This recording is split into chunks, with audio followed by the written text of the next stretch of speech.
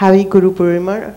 Um, we can welcome Swami Nikhilanand and everyone can turn this way as he will speak to us for the next 30 minutes. After that, there's going to be a chanting, arti, and then we will do Guru Pujan and then you're all invited for Mahaprasad today at the lunch hall. Jai Shri Radhe. Shrimat सदगुरु सरकार की प्रथमं सद्गुरुं वन्दे।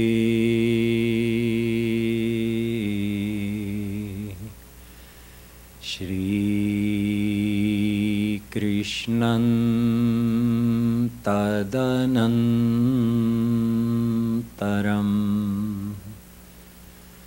गुरु पात्मना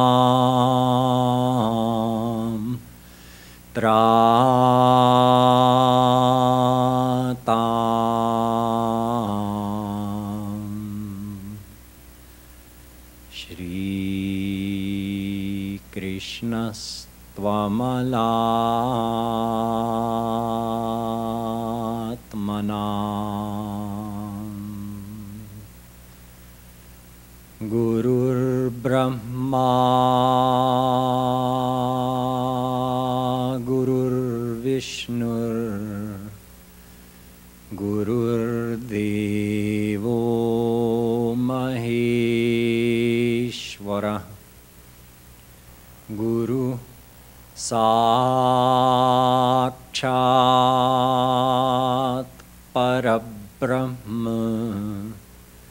तस्मै श्रीगुरवे नमः। अज्ञानतिमिरान्धस्य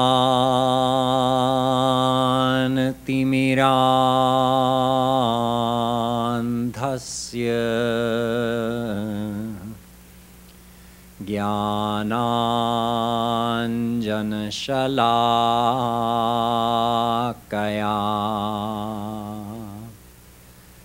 चक्षुरुन्मीलितं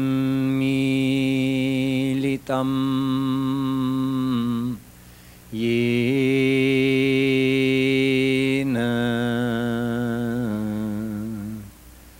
तस्मै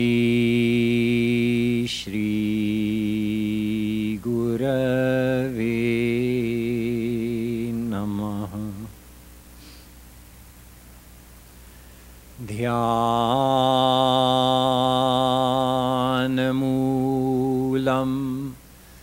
गुरोर्मूर्तिः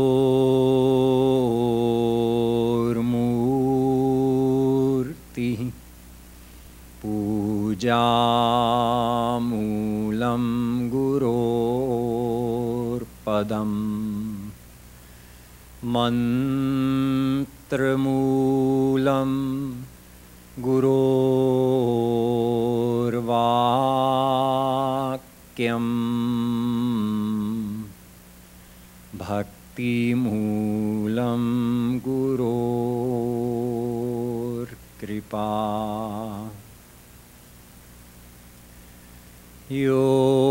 ब्रह्माणं विदधाति पूर्वं यो वै वेदांश्च प्रहिणोति तस्मै तग्मंह देवमात्मबुद्धिप्रकाशं मुमुक्षुर्वै शरणमहं प्रपद्ये the divine souls. We'll have a few minutes of kirtan, chanting Jayati Guruvar. After that, I'll be addressing the question of how to recognize a true guru on this occasion of Guru Purnima celebration. Jayati Guruvar, Jayati Guruvar, Jayati Guruvar, प्यारे। जयति गुरुवर जयति गुरुवर जयति गुरुवर प्यारे। जयति गुरुवर प्यारे।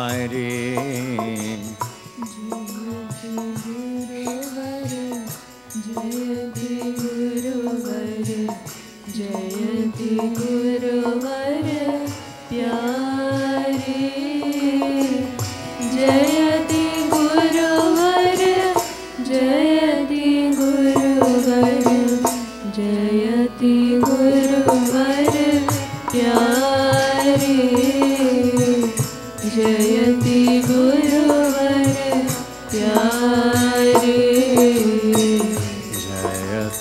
गुरुवर जयति गुरुवर जयति गुरुवर प्यारे।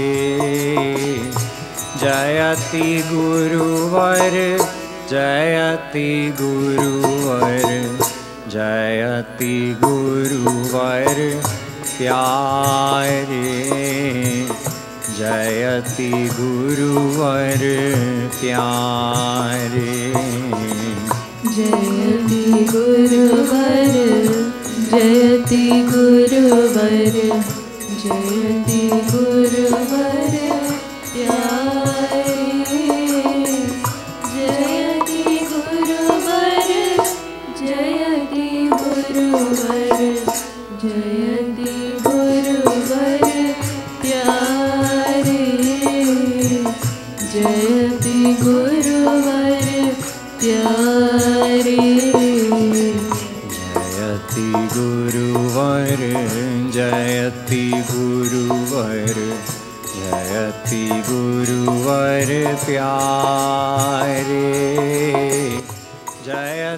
गुरुवर, जयति गुरुवर जयति गुरुवर प्यारे। जयति गुरुवर प्यारे। जयति गुरुवर जयति गुरुवर जयति गुरुवर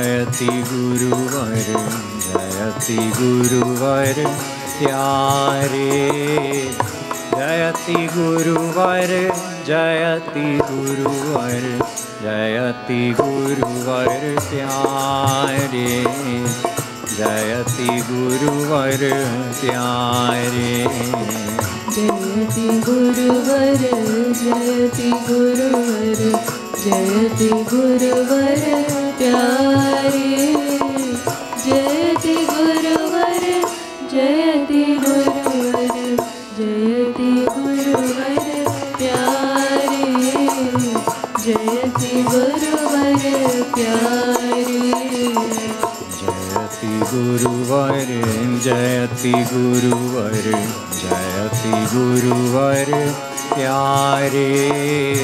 जयति गुरुवर जयति गुरुवर जयति गुरुवर प्यारे।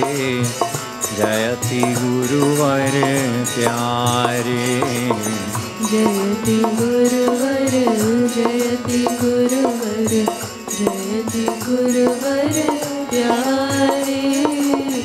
जयति गुरुवर जयति गुरुवर जयति गुरुवर, प्यारे। जयति गुरुवर, प्यारे। बोलो श्रीमद सदगुरु सरकार की। Today we're celebrating Guru Purnima, the full moon where we honor the true Guru. Purnima means whole, complete moon. And the meaning of Guru Purnima is Purna Sharanagati to the true Guru. Sharanagati means surrender, Purna. Complete surrender to the true Guru is the true meaning of celebrating Guru Purnima. Today I'm going to be taking up one question how to recognize a true Guru. And as I go along, if folks have questions as well, because we try to make this time during our Sunday morning satsang interactive, we'll take some time to take some questions from those of you who are here. So feel free to, uh, when I let you know that it's time. If you have a question, you can raise your hand and we'll bring the wireless mic around to you. But the first question we're starting with today is a very important one how to recognize a true guru. Our scriptures tell us दुर्लभं त्रयमेवैतद्दैवानुग्रहकारकं मनुष्यत्वं मुमुक्षुत्वं महापुरुषसम्भवः Three things are most rare to receive. Number one is a human birth. So it is rare and valuable because only when you're born as a human do you have the chance to attain God. Thus, only human beings have the opportunity to realize the ultimate goal of existence, which is to know and experience God. That's the first thing. You get a human birth, that's a great rare opportunity. Secondly, to have the desire for God. So many people receive a human birth but don't have the desire to find God in this life. So if someone has received both the human birth and they have a desire to find God, that is even more rare. However, these two are not enough. You need the third rare thing, Mahapurusha Sambhavaha. You need the association of a Mahapurush. In other words, a guru. Our scriptures tell us that तद्विज्ञानार्थम सगुरुमेवाभिगच्छेत समित्पाणि श्रोत्रियम brahmanishtam. Mundakopanishad says if you want to know God, you need the guidance of a Shrotriya Brahmanisht Guru. Shrotriya means knowledgeable in all the scriptures, and Brahmanisht means established in God, themselves having already attained God. If someone receives the association of such a saint, that saint, true God realized saint, is called a Mahapurush.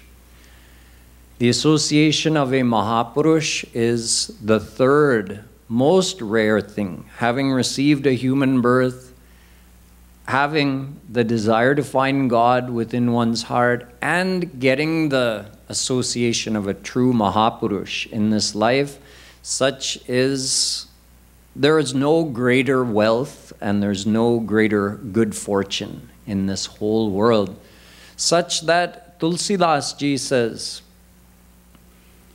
गुरु बिनु भव निधि तरई न कोई जो बिरंची शंकर सम होई It's impossible to find God, and it's impossible to cross this ocean of Maya, the ocean of cosmic existence, without the grace of a true Guru.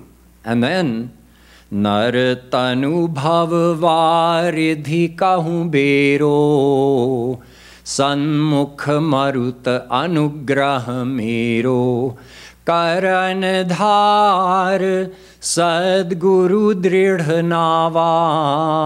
दुर्लभ साज सुलभ करि पावा जो न समाज अस पाई। सो कृत निंदक मंदमति Atmahanagati jai. Tulsidas ji says, having received all of this that you need in order to realize the ultimate goal of your existence, in other words, you got the human body, you got the association of a true saint who's going to guide you towards God, and you still don't make an effort to attain God in this life, well, you've squandered the most rarest of all opportunities. You've missed this golden chance to give your heart and soul what you've always wanted to be with God. Thus, understanding the importance of the Guru, even if someone knows this much and also knows आदौ श्रद्धा ततः साधु संगोथ भजन क्रिया Bhaktirasamrita Sindhu that first you have to intensify your desire to find God, then God Himself will arrange for you to meet a true saint. Even if you know that much, okay, I can't find a saint on my own. I just have to pray to Krishna and he's going to arrange for me to meet a saint. The question is still how do I recognize that I've met a saint? What if I use the wrong criteria to judge who is a saint and who isn't? And I turn away from a true saint or I start following someone who isn't a saint. We need to understand some criteria Although the main qualification of a saint, which I already told you, is they are God realized, and there is no physical characteristic that could tip us off that this person is God realized. You know, it would be really easy for us if, after becoming God realized, a person's skin turned blue. Then we said, that's a saint. I'm going to make this person my guru. But nothing like that happens. God doesn't give them a, uh, a diploma and sign it, and then you can verify yes, this is Krishna's signature, this is a, a real diploma, this person is God realized. We don't have any definite way like this of knowing who is the true guru and who isn't. Or I should say, we don't have any quick and easy way. However, there are some criteria that we can consider. So we need this knowledge. There are a couple of things that you can help to recognize who is a guru, and there are a couple of things that you can recognize when someone is not a true guru and in fact they're posing as a guru. Let us start on the positive side. As I mentioned, we don't recognize the guru according to any physical characteristics. We also don't recognize the guru according to their gender, their age. I mean, we've had female and male saints through history. We've had old and young saints. I mean, Dhruv was five years old when he became God realized. You could have made him your guru at that time. So let us not focus on the external. Let us focus on the internal. Even you can't focus and say, this person's lifestyle isn't right. They're living like a king. They have servants. They drive a Mercedes. They live in a mansion. Oh, a guru could live like that. There have been saints in history who were kings who lived a lavish lifestyle, and there were saints who were beggars We've seen both. There were saints who were married and who had children after God realization, and there were saints who remained celibate. Although all saints are mentally celibate because they're beyond kam, krodh, lobh, etc. That means we have to find some internal way. And the internal way of recognizing what's inside the saint is by looking within ourselves. Think of it this way if you have a coil, a copper coil of wire, taking you back to high school physics class. If, you, if you've made a coil of copper wire and you insert a magnet into the center of that coil, what happens? A flow of current is induced. Something like that happens through the association with a saint. The saint is representing God on earth and emanates a powerful divine vibration, a blissful, gracious vibration. We are the receptors. We can receive that vibration, and when we receive that vibration, something happens. Our love for God grows, and our attachment in the world reduces, like coming close to a fire. You're shivering in the cold, and there's a strong fire burning over there. The closer you go to the fire, the more your cold is reduced and the more warmth you receive. The closer you internally associate with a saint. Remember, I said the meaning of Guru Purnima is Purna Sharanagati. Internal association means mental surrender to the saint. So the closer we come to that mental surrender, attaching our mind to the saint's mind, the more of that vibration we receive. In other words, the more of the grace of the saint we receive. And what is the internal effect on us? Just like that current being induced to flow in the copper coil, there's an induction. Something starts happening in here. We start feeling true love for God. Something melts inside our heart something, a, a, thrill, that current that starts to flow is experienced as a thrill of love for Radha Krishna. Where did that come from?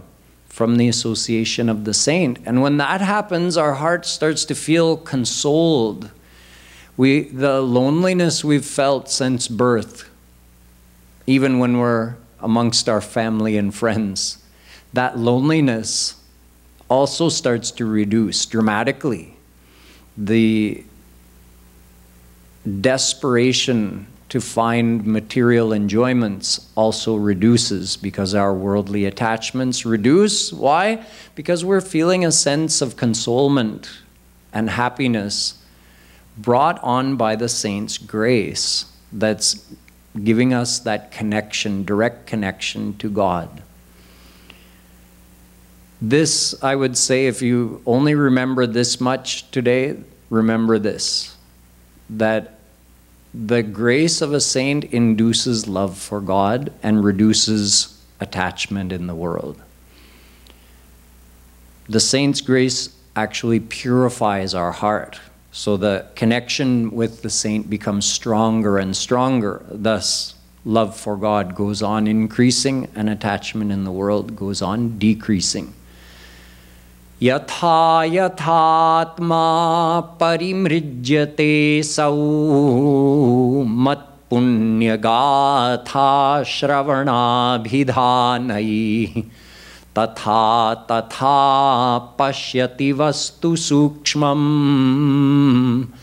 चक्षुर्यथैवाञ्जनसम्प्रयुक्तम् In the Bhagavatam, Shri Krishna is telling Uddhav about this process, how the more devotion somebody does, the more their heart opens up, the more love for God they experience, the more they realize Krishna's direct presence with them, the more intense and real their Rup Dhyan becomes. But what a lot of people don't know is that this doesn't happen just by, Krishna is mentioning, by listening to and thinking about, chanting, meditating upon his leelas, all of this happens.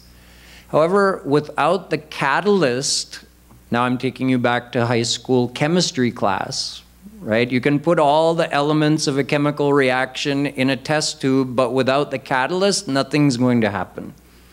You can meditate on Krishna's Leelas. You have all the ingredients there, but without the catalyst of the Guru's grace, the reaction doesn't take place. Love for Krishna doesn't grow, at least not at any significant rate, without the grace of the Guru.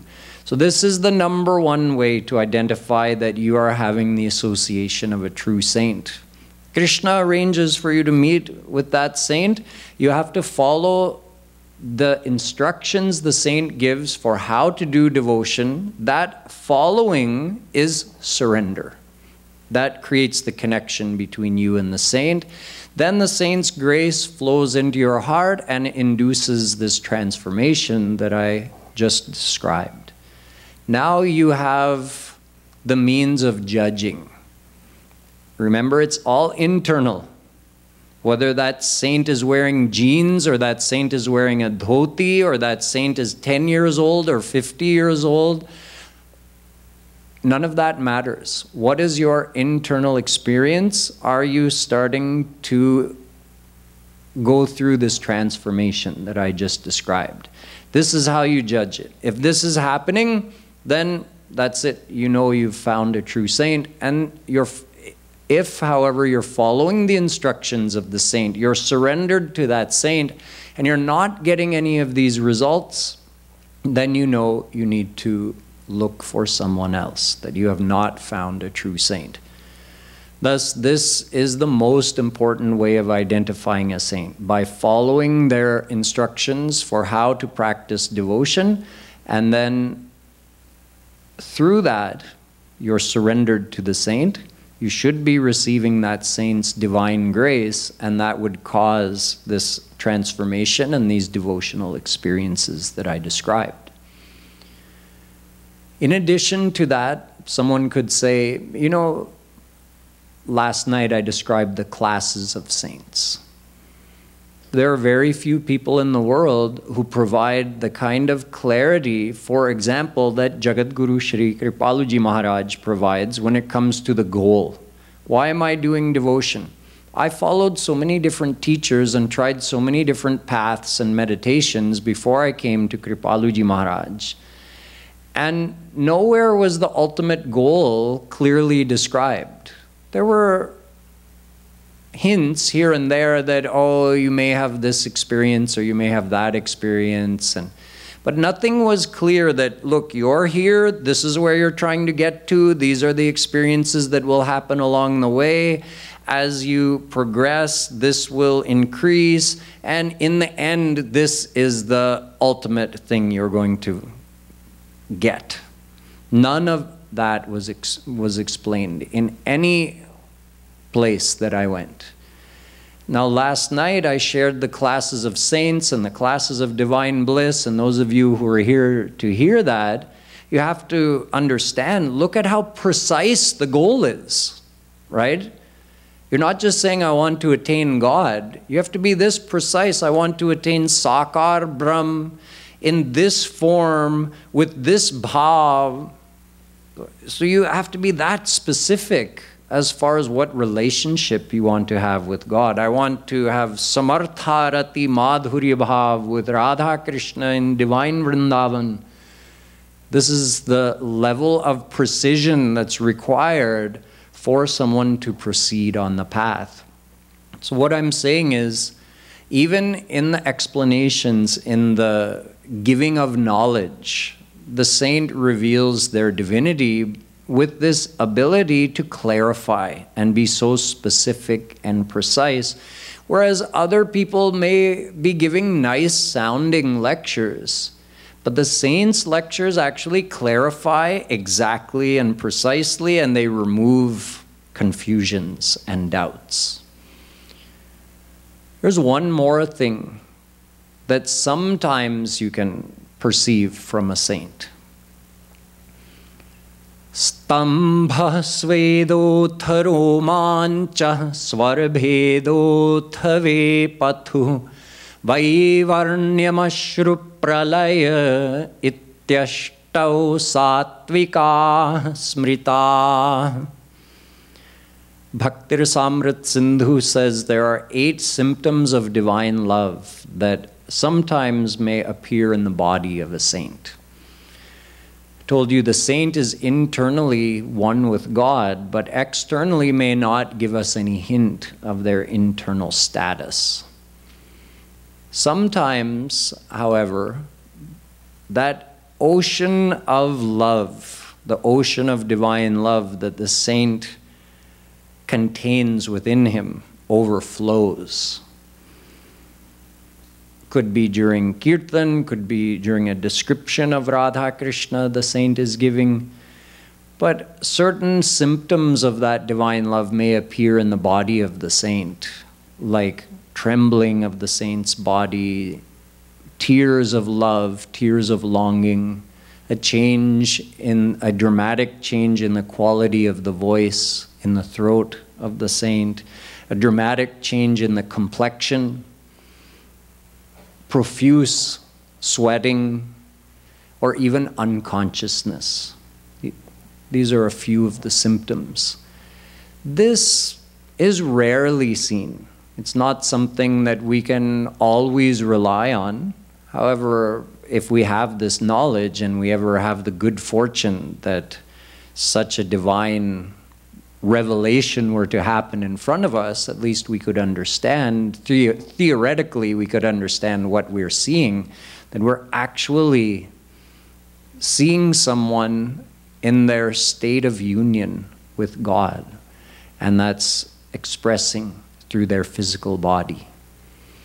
However, this is something that we may have to spend a long time with a saint before we would ever get to see such a what we call sattvic bhav. So these are the three main ways on the positive side. What internal effect does the saints association have on us? The clarity and precision of the saint's words, the way the saint gives knowledge, and the sattvic bhav, ashta sattvic bhav that may appear in the saint's body. That's up to us to take the time to delve in to the saint's teachings, to sincerely associate with the saint and see if we can get these experiences. That takes time. However, it is 100% reliable. You will never be fooled by this because you yourself have to judge your own experience. Don't go by what someone else is telling you. Oh, this is a true saint. This is not a true saint. You have to go by your own experience so you yourself will know. Now, there are a couple of ways that people get fooled that I will briefly recount to you. Or you can say, if you see somebody who's posing as a saint who is doing some of these things, then you can just politely keep your distance from them. We don't need to personally criticize anybody. However, for our own well being, spiritual well being, we do need to understand how some people who aren't saints may be trying to influence us. So, one is a saint, a true saint, doesn't pretend to give worldly boons or blessings. This may be shocking for some of you. In fact, the majority of people who go to somebody they think is a saint, they go with the idea, I will get this saint's blessings and therefore my son will get a high score on his SATs. I will get this saint's blessing, therefore I'll get the promotion. Oh, my green card has been hung up for three years. I'll go and get this saint's blessing. This is not what the blessings of a saint are for. I told you the saint's blessings induce the current of love for God in the heart. That's it, nothing else. The saint does not involve or interfere in our worldly matters. If a disciple is very close to a saint, a saint may give some personal advice on how to navigate, how to structure their life in order to maximize their good devotional sanskars and minimize their bad worldly sanskars. But these are personal advices that the saint gives to help the devotee in their devotional path, not to maximize their material welfare. Our material welfare is going to be determined according to our past lifetime's good and bad actions. We're already going to get those results. The saint doesn't need to interfere. When Chaitanya Mahaprabhuji says, in the words of Sri Krishna, Ei bada murk, amaya bhaje, mange vishaya sukh. There can be no greater fool than the one who worships me and asks for worldly happiness. Krishna is the ocean of divine bliss that gives perfect satisfaction forever, and this world is full of all things that give temporary and that too not fully satisfying happiness. So Krishna is saying, You want you're just going to come to me and ask for more and more of that? What's the point of that? Ask me for divine things, divine love. That's what the Guru has. The Guru is in possession of that. Then why would the Guru try to हमको बहकाएँगे क्यों ये सब दिखा के जब असली चीज़ अपने पास है और वो देने को तैयार हैं तो ये खिलवाड़ से हमको क्या बहकाना है why would he want to distract us from our true goal of God realization by giving us all worldly things that we don't even need? So the true, if somebody is sitting up there saying, "Oh yes, my my friend, you will have this. I'm blessing you with this thing," just stay away from that type of person. That's purely commercial someone who is just telling the people what they want to hear in order to gain a greater following apne pet palne ke liye similarly if somebody is showing some kind of miracle now it could be they have some real power but one must know right up to the topmost yogic siddhis. Samadha upasarga vyuthane siddhaya.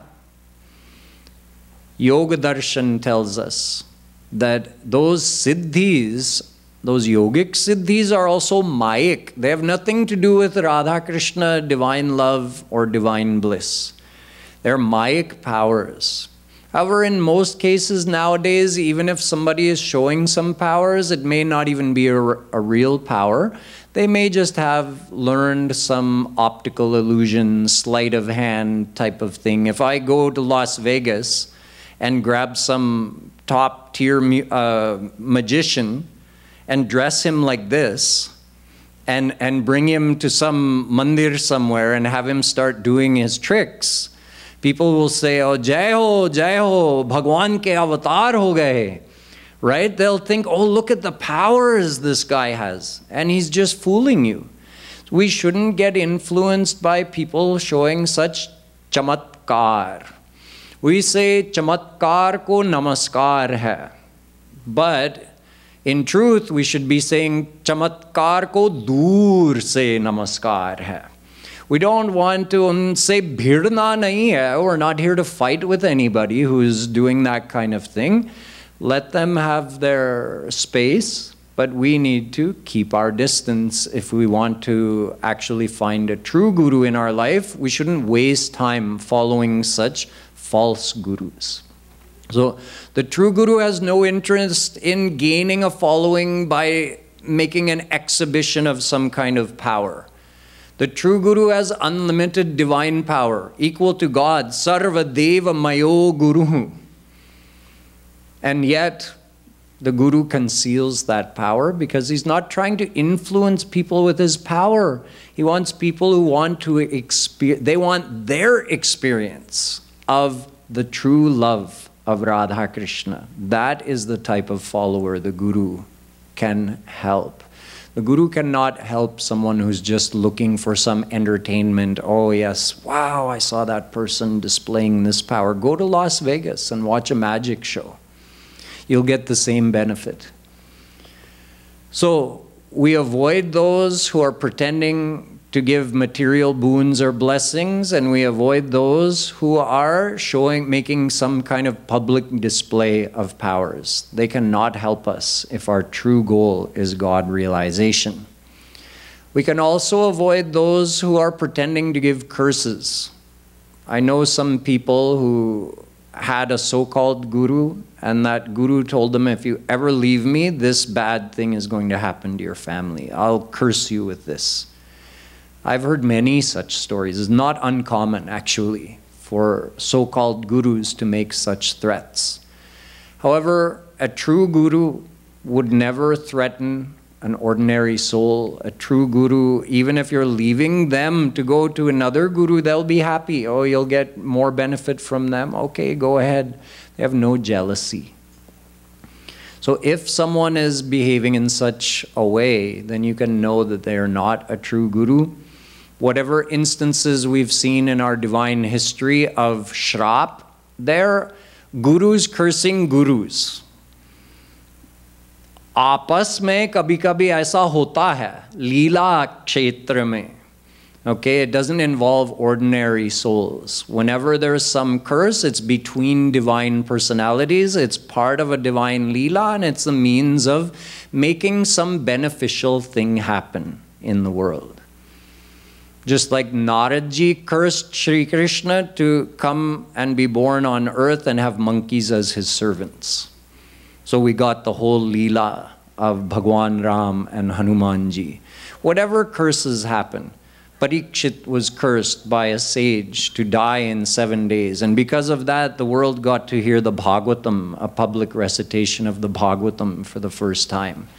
These types of curses, these shrap, are actually beneficial happenings, divine happenings. They're not causing harm to anyone. So if anyone is threatening to curse you, you can also know this is not a true guru, but you can still avoid them. And finally, if any so called guru is trying to show you a shortcut, just here, I gave you this mantra in your ear. Now that's it. You've become mine. There's nothing more for you to do. When you die, I'll meet you at the gates of Golok. And, uh, you know, I've already put you on the list. You'll gain entrance. You won't have to be born in this world ever again. There is no shortcut. Jagadguru Shri Kripaluji Maharaj always says, करना पड़ेगा। भगवान या कोई महापुरुष करके नहीं दे सकता है। अगर दे सकता था तो एक सेकंड में अनंत कोटि ब्रह्मांडों के अनंत जीवों का उधार एक क्षण में हो जाता। They can't they do not have the permission it's against the rules for God और a saint to make us become surrendered to them, make us God realized. We have to surrender our mind to them to receive their grace. Thus, we have to learn from the Guru the process of becoming surrendered. What is the path? What do I have to practice every day? And then I have to practice it. The Guru cannot make your mind become attached to or surrendered to God. The Guru can simply describe the process that you have to practice. Then the Guru will help you and grace you, but you still have to do it. So if someone is trying to give you some shortcut, there I gave you mantra, diksha, and there's nothing more for you to do, such things are deceptive. Again, it's more of a commercial thing, trying to be able to claim you as a follower by deceiving you into thinking that now, oh, I took mantra from this guru, so now I'm trapped. I can't go to any other guru and uh, but such situations are not real. It's more of a psychological hold they get on you. If someone gives you a mantra or gives you a name of God, it should be with the explanation this is how you meditate on God in order to become surrendered and develop love for God by singing this name, repeating this mantra.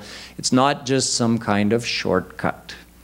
So, with these pieces of the knowledge, knowing on the positive side how to identify that you've actually associated with a true guru, and on the other side, knowing the signs that someone is not a true guru, you can avoid those who are trying to fool you, and you can not waste your time in that. And you can keep praying to Sri Krishna, and with His grace, When you are ready, He will arrange for you to have the association of a true saint, and then with the knowledge you receive today, you'll be able to identify that indeed you are receiving the grace of a true saint. Although you have to be patient, it may take weeks or months to start to see that internal transformation.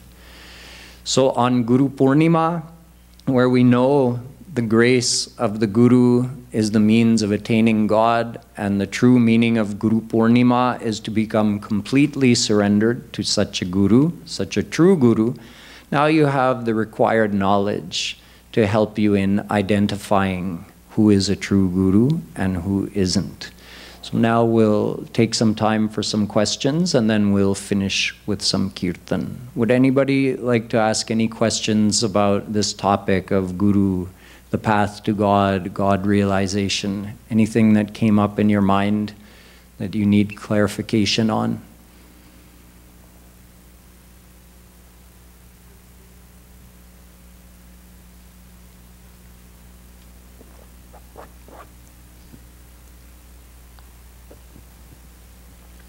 Uh, Yeah, Namaskar. Thank you.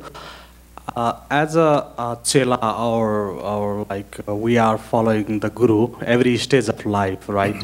like for example, for education, for deviation, or for music. So basically, do we have any responsibility or like liabilities during the Guru Purnima?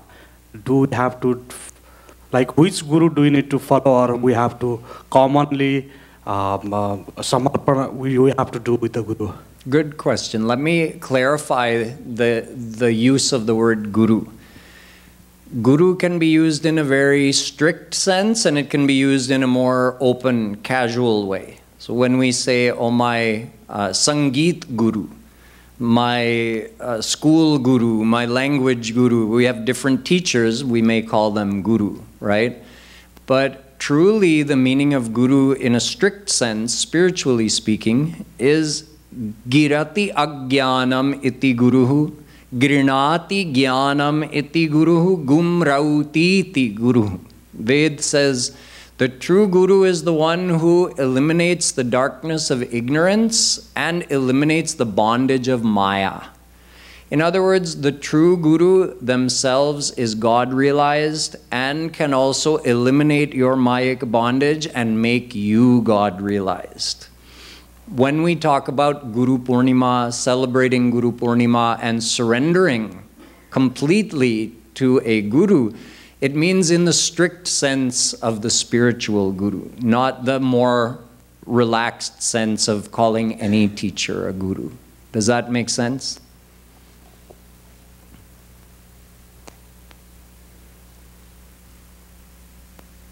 Here in the front, yes. How do we continue when the Guru has left his physical form? Very good question. So there are two situations.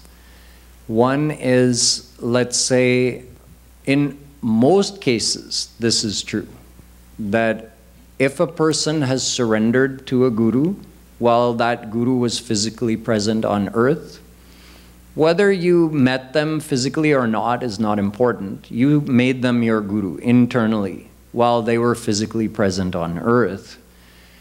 Then, even after they leave the earth, they will continue to grace you, and uh, that guru disciple relationship is maintained for the rest of your life, even though the guru may not be physically present on earth. But no new people could make that departed guru their guru now, right? If they hadn't done that while, they, while the guru was physically present. However, if the guru has gone, but you had established that guru disciple relationship before that, that continues for the rest of your life. Now, I've mentioned a few times in recent months that in the case of Jagadguru Shri Kripaluji Maharaj, there's an exception. So there are still people who hadn't even heard of him before he, he finished his physically visible leelas here in this world. And yet, people, even nowadays, are creating that internal connection by watching his lectures, reading his books, hearing about him, seeing his videos. And they make that internal connection. They say, I want him as my guru. And they start getting his grace and having that internal transformation that I was describing in my lecture today. So it means that in the case of Sri Kripaluji Maharaj, at least during the current time, we have an exception.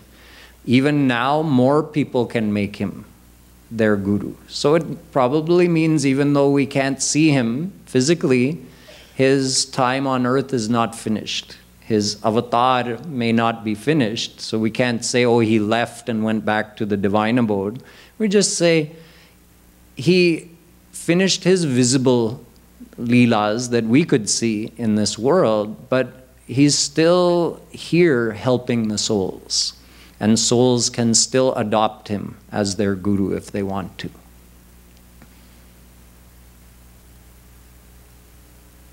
Any other questions? Yes, in the back. Go ahead.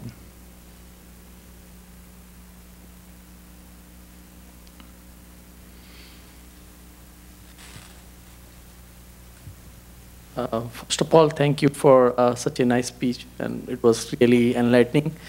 Um, this is my first time hearing this speech, so I have a question like, what makes or what are the qualities that make someone guru? Is it like they have devotees which follow them, Hmm. they have the knowledge, or like what is that thing that makes someone a guru?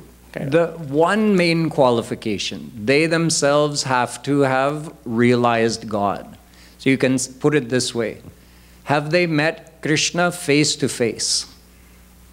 Have they experienced the unlimited bliss of Krishna? Do they know God? So you can say a practical experience of God, not the theoretical. Theoretical, they get automatically. Once they experience God, they have the total knowledge of the scriptures. Nonetheless, our scriptures define a true guru as someone who is Shrotriya Brahmanisht. Brahmanisht, God realized. Bhagavat Prapt. And Shrotriya, having the total knowledge of all the scriptures. Both aspects are mentioned in the scriptures. But really, out of the two, the one is included in the other. If you get God realized, you get divine knowledge automatically.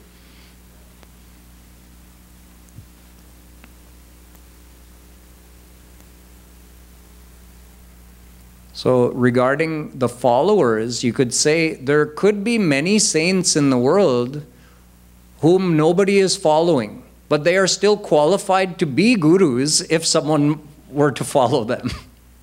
So, a guru is a true saint, a true God realized saint that you make as your spiritual master, spiritual guide. That becomes your guru.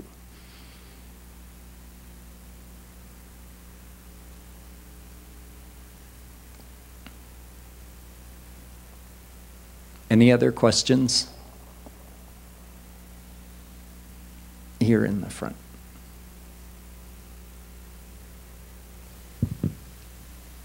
What does 100% surrender means? None of us are 100% surrendered. So, luckily for us, the Guru deals in percentages. Guru says, okay, you're 19% surrendered. That means you have a 19% good connection with me. So, you're able to receive 19% of my grace. And that grace then has its effect and purifies our heart. So, then tomorrow you're 19.5%, and the day after, 22% and we keep increasing. So the Guru is working with us to clean up that connection, clean our heart, so our percentage keeps growing. Shri Krishna comes when we get to 100%. It means total love, total attachment, 100% faith. That's surrender. Surrender is more of an abstract uh, type of idea. But if you think about what does it look like when you're surrendered to someone, it means you love them. It means you have total faith in them. That's surrender. You depend on them. That's surrender. Thank you. Radhe Radhe. Radhe Radhe.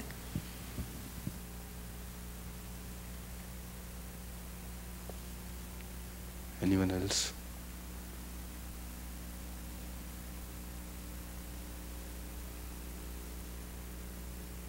Okay, let us finish with a few minutes of kirtan. After the kirtan, we'll be having arti, and after the arti, those who would like to will be having two things happening. We'll be getting the opportunity to do Charan Paduka Pujan of Jagadguru Shri Kripaluji Maharaj to honor him on this day of Guru Purnima to help elicit that sense of surrender and submission to the Guru. It's a very sweet feeling, sweet surrender. So when we bow down before the Charan Paduka, the image of the Guru's divine lotus feet, it's supposed to elicit that feeling of sweet surrender in our heart as we submit ourselves to the divine Guru. So with these sentiments, those who would like to come up after, uh, after the arti, you'll have the opportunity to do pujan of Jagadguru Shri Kripaluji Maharaj on this Guru Purnima day. And after that, we'll be serving lunch prasad in our main dining hall. So let us finish with a few minutes of kirtan.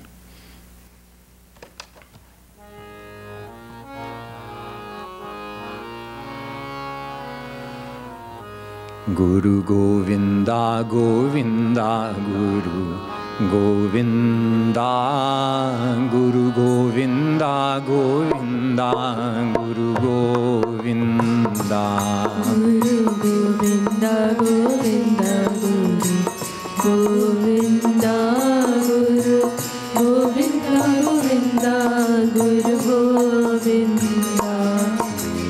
Govind Govind Guru Govind Guru Govinda Govinda Guru Govinda Guru Govinda Govinda Govinda Guru Govinda Govinda Guru Govinda Guru Govinda Govinda Guru Govinda Guru Govinda Govinda Guru Govinda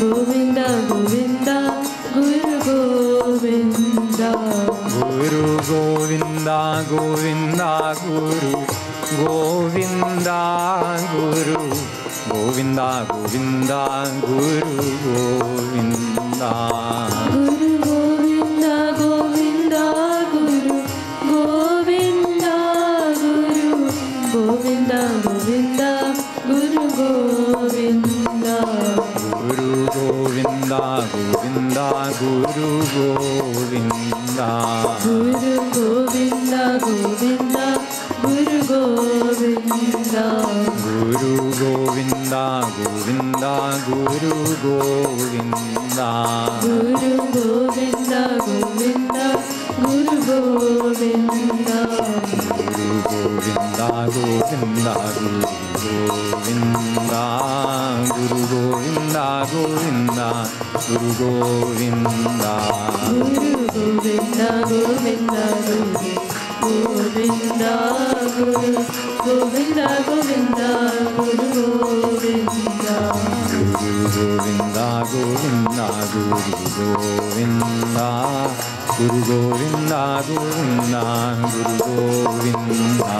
Guru Govinda, Govinda, Govinda, Guru Govinda, Govinda, Guru Govinda. Guru Govinda Govinda Guru Govinda Guru Govinda Govinda Guru Govinda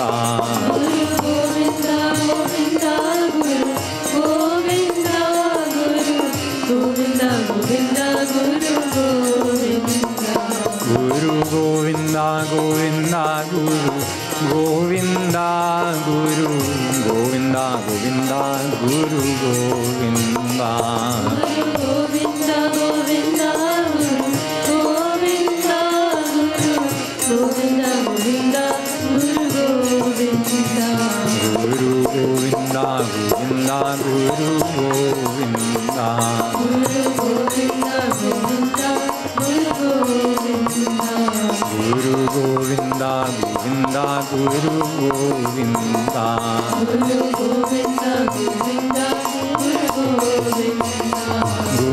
Govinda Govinda Govinda Guru Govinda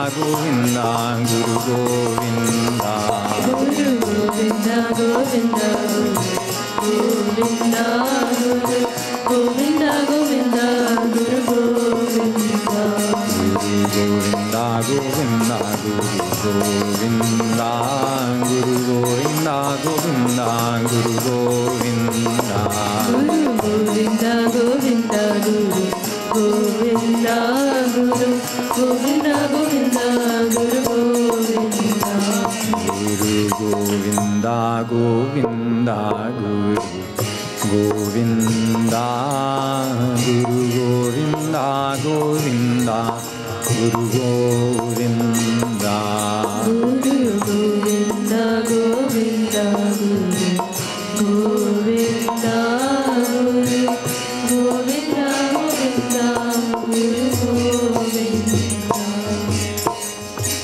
Jagat Guru Shri कृपालू जी महाराज की।